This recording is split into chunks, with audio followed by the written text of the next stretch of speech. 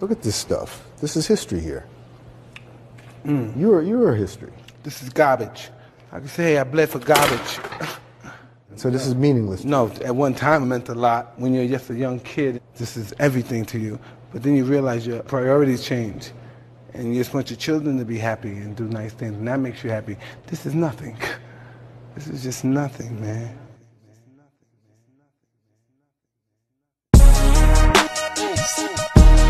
Whoa.